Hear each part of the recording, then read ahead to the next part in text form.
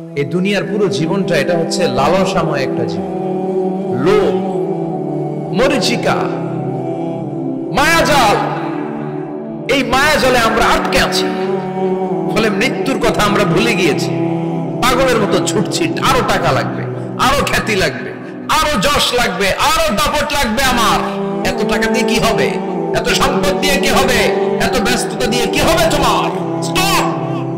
থামুন, অনেক হয়েছে, আন্না। থামুন take a rest take a breath and think about death. Think that you have to go back to your Lord.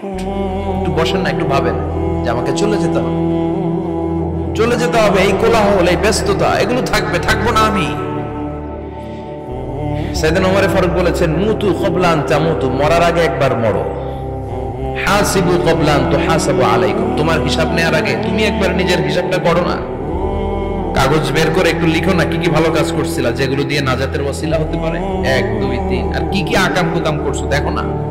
লিখে দেখো তোমার অবস্থাটা কি। মরার আগে একবার মরো।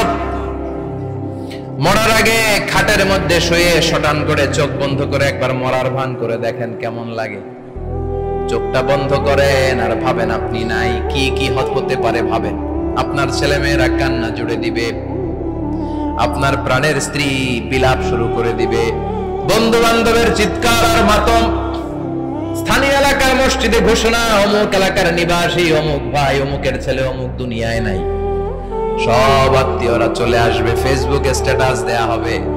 সবাই সবাইকে জানাবে, বিকাল চারটায় অমুক হাই স্কুল ময়দানে আপনার জানাজা। ছুটে আসবে, সবাই ছুটে আসবে।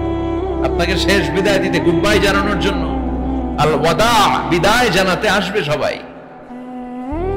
চার তাকবীর দিয়ে আপনার জানাজা হবে, অশ্রুসিক্ত জানা যায় আপনার বিদায় হবে, কাঠের খাটিয়ার মধ্যে করে কাঁধে তুলে কবরে নেওয়া হবে। আগে থেকে খুঁড়ে রাখা কবরটার মধ্যে আপনারে বিছিয়ে দেয়া হবে। বাঁশের কচি দিয়ে তার উপরে মাটির চাপা দিয়ে সব চলে যাবে। ভাবেন না একবার চোখ বন্ধ করে this is the circle of life this is the nature of life এটা সবার হবে, আমার হবে, আপনার হবে। এত মায়া, এত ভালোবাসা কই যাবে? কেউ থাকবে না।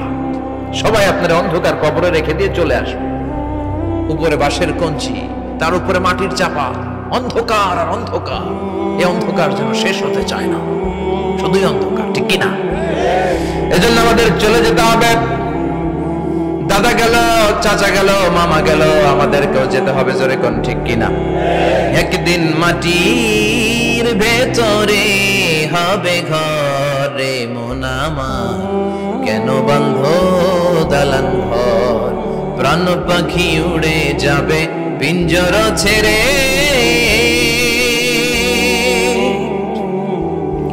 ধরা ধামে সবই রবে তুমি যাবে চলে। বন্ধু বান্ধব যত মাতা পিতা যারা সুত সবই হবে তোমার পরে। মন আমার কেন বান্ধ দালান ঘর? একদিন মাটির ভেতরে হবে ঘরে। মন আমার কেন বান্ধ দালান ঘর? ঠিক কিনা? সব করে থাকবে। চলে যেতে হবে আমাদেরকে। এজন্য আখেরাতের কথা যেন আমাদের স্মরণ হয়। বিষ্ণুই বলতেন, নাহাই তুকমান জিয়ারাতিল কবুর। আমি তোমাদেরকে কবর জিয়ারত করতে আগে নিষেধ করতাম, কিন্তু এখন নিষেধাজ্ঞা প্রত্যাহার করে নিলাম। এখন সব সময় তোমরা কবরের সামনে যাবা আর জিয়ারত করবা। কবরস্থানে জানতো বড় কৃষ্ণপুরের এই গ্রামের কবরস্থান আছে? কোন দিকে? পূর্ব দিকে আছে, গোখরার জলের ওদিকে। যান আপনারা, একটু যাবেন। একটু গেলে আখেরাতের কথাটা স্মরণ হবে। ওখানে ছোট শিশুরা শুয়ে আছে। কিশোর, যুবকরা আছে, আপনার মতো তাগড়া যুবক, মুরব্বীরা আছে। এরা এই এলাকায় থাকতো, এরা আকাশ থেকে নেমে আসে না এলাকার সন্তান আজ নাই। একটা সার্টেন পিরিয়ড শেষে আপনিও থাকবেন না। This is the nature of life this is the circle of life ছোট্ট শিশু হয়ে এসেছিলেন। শৈশব, কৈশোর, যৌবন, প্রৌঢ়ত্ব। আগে ছিলেন সিঙ্গেল বিয়ে করে হয়ে গেলেন ডবল এরপরে আল্লাহ আপনাকে একটা মেয়ে দিল। এরপরে মেয়েকে বিয়ে দিয়ে শ্বশুর হলেন। এরপরে ওই মেয়ের ঘরে সন্তান হতে নানা হলেন। আর কতদিন? অনেক দিন হলো তো। অনেক লম্বা সময় পেয়েছেন আপনি। থিঙ্ক অ্যাবাউট ড্যাথ এবার যাওয়ার কথা ভাবেন। আখেরাতের সামানের কথা ভাবেন। ফিরে যেতে হবে। কি শক্তিশালী যুবক। বার্ধক্য চলে আসলে লাঠি ছাড়া চলতে পারে না। কুচকুচে কালো দাড়ি সাদা হয়ে যায়। দাড়ির শুভ্রতা, বয়সের ভার। রং ধরা যৌবন, জং ধরে শেষ। ঠিক কিনা? This is the circle of life যুবক ভাইয়ের এইটাই জীবন। চলে যেতে হবে। কেউ থাকতে পারবে না ঠিক কিনা? এটা রিমাইন্ডার আল্লাহ ইসুরার ভেতরে দিয়েছেন যে তোমাদেরকে ফিরে যেতে হবে। এই লোভ লালসা ছেড়ে দাও। রব্বুল আলামিন বলেন আল্লাহকুমুত তাকাসুর হাত্তা যুরতুমুল মাকাবির। ও গোলাম দুনিয়ার সম্পদ লোভ লালসা তোদেরকে পাগল বানিয়ে দিয়েছে। এই লোভ পাগলামি কোনোদিন তোদের থামবে না। যতদিন না তোরা কবরে ঢুকবি, ঠিক কিনা? কার কথা? আল্লাহ বললেন, দুনিয়ার সম্পদ আর লোভ আর মোহে তোমরা গাফেল হয়ে গিয়েছো। আখেরাতের কথা বেমালুম, তোমরা ভুলে গিয়েছো। কিন্তু আখেরাতে তোমাদের যেতেই হবে। কবরের বাড়িতে তোমাদের ঢুকতেই হবে, ঠিক কিনা? যেতেই হবে। আমরা ভুলে যাই। আল্লাহ তাকাসু অতিরিক্ত পাওয়ার লোভ।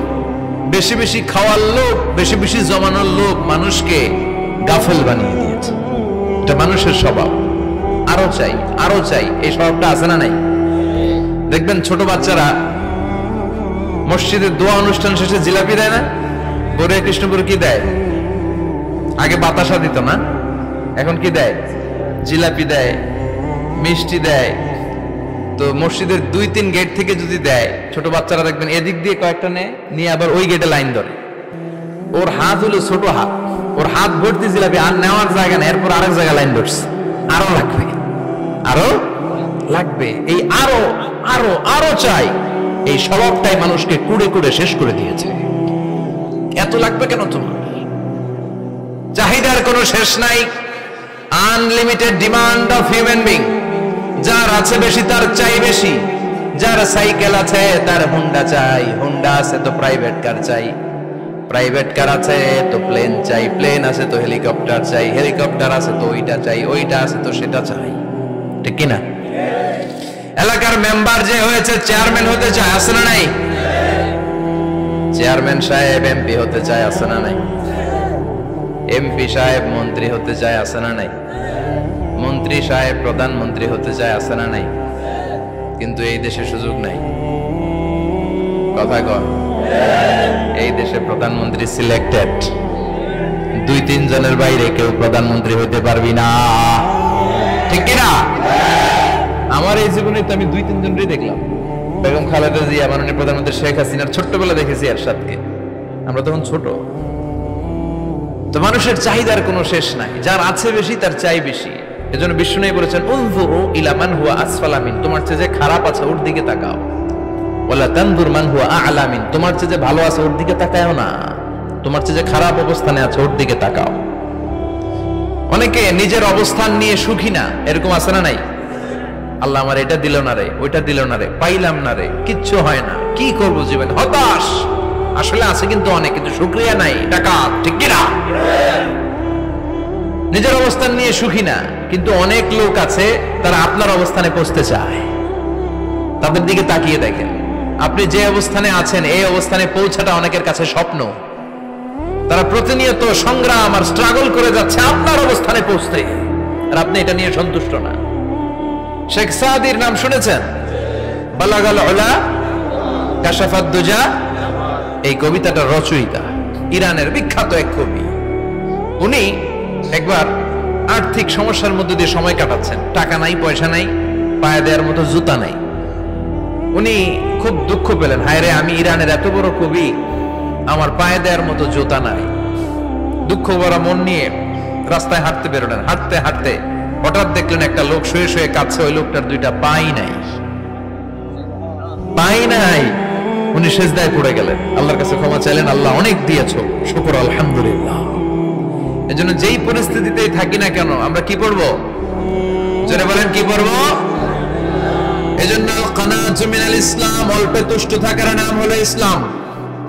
সম্পদ লাগবে কিন্তু সম্পদের পাহাড় লাগবে না, ঠিক না অল্প খান, অল্প পড়েন, অল্প জামান, অল্পের ভেতরে বরকত ঢুকাইয়া দিছে কে?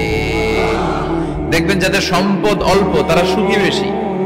জরিপে এটা দেখা গিয়েছে, অনেক সার্ভেতে এটা এসেছে, যারা সম্পদশালী, এরা দুঃখী বেশি।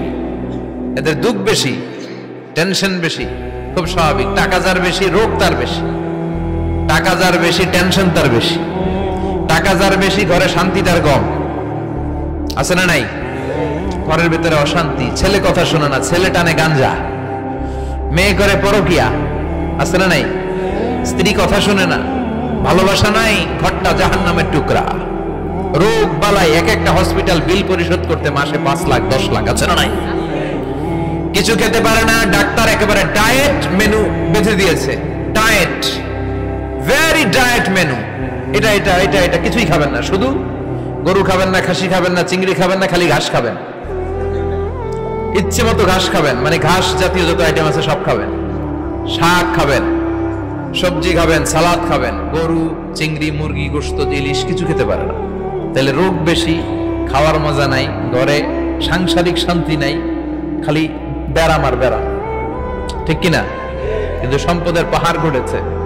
আর অল্প যারা খায়, অল্প পড়ে, রিক্সাওয়ালা, কুলিওয়ালা, অল্প বেতনের চাকরি, কিন্তু হক হালালি মেনে চলে। দেখবেন শান্তি আছে অনেক।